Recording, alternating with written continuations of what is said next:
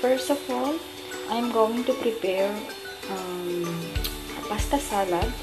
Normally in the Philippines, we prepare pasta salads, which is sweet. Okay, but here, since it's getting uh, hotter, so we prepare salads for lunch. So this salad is out of colored pasta. Okay, and then we will boil that first, and then after that, we will prepare a salad. It's, it's salt, salty salad. Okay, so we have here the leaves. I'm going to mix later on. Um, this I buy I bought already prepared. So this is washed already, and then I'm gonna mix it later on. And then we have here since since I am I have anemic problem, so I will be putting um, raisins I have here also walnuts. Okay, we will mix that one. Those later on. And then we will ha we have here green seedless olives, two tomatoes, and one golden apple. So it's very important that we have also mayonnaise. So this is not sponsored guys. So I will be putting putting this mayonnaise also oregano. It's very good for for the digestion we will be mixing this and of course salt. So these are our ingredients today guys for the for the pasta salad. So the pasta is already boiling guys. So we will wait 5 to 6 minutes and the pasta is ready. So you see the color? It's very nice guys so normally, this pasta, the orange one is out of tomato. The white ones are its normal weight and then the green is out of spinach. So that's why they have colors guys. Normally when I'm sending packages in the Philippines, I usually send um, pair of kilos for my family because normally my younger sister usually asks to say, ask me to send colored pasta there. I don't know if they already cook what I sent because the last time I speak to her, she told me that they still had one pack there, one pack, one kilo. I don't know if they cook it already when my father celebrated his birthday. So, we will continue guys. So, here we are again guys. So the, the pasta is already cooked. I drained and I already put here on the bowl.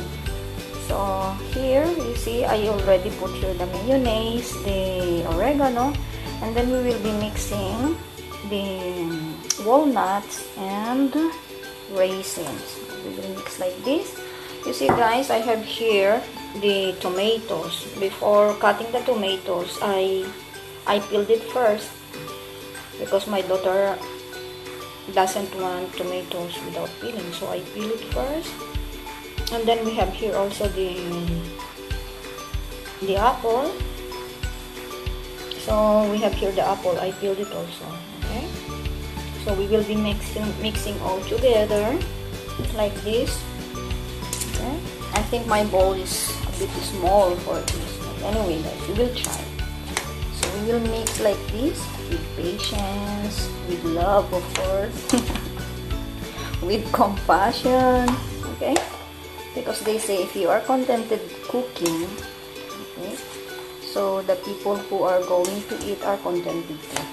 Anyway, sometimes if you are sad cooking, it's like, um, well, this is my own case, okay? When I'm not happy cooking, sometimes my children don't want to eat. So, I say perhaps because I was so sad and or angry at that moment when I was cooking. So it's like they don't want to eat the food I prepared.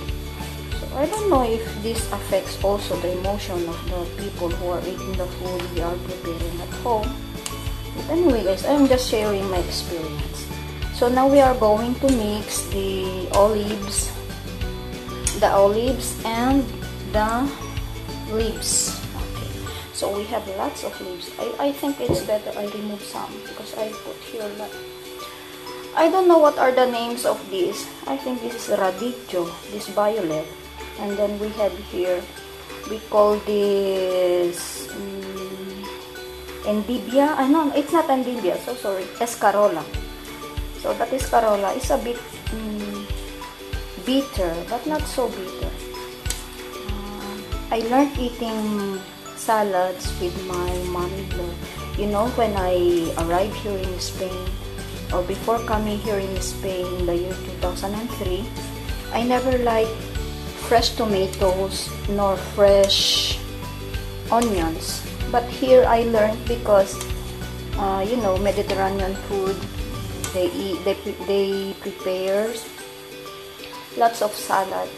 So, the first time I eat fresh tomato, it's like I didn't feel well. I didn't feel well, I should say.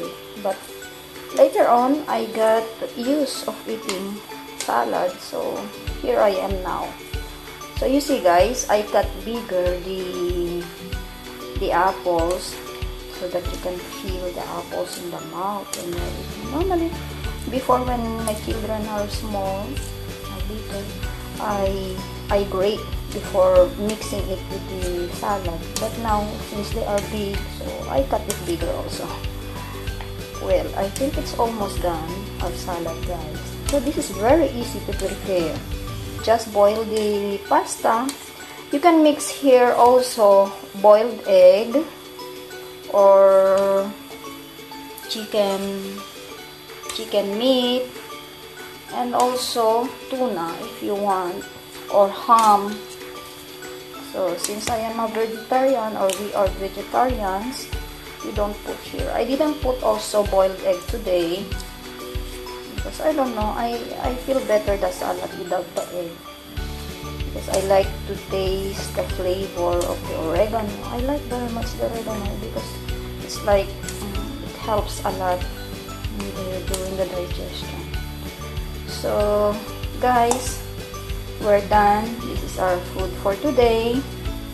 Easy to prepare. Okay. So see you next time. Happy weekend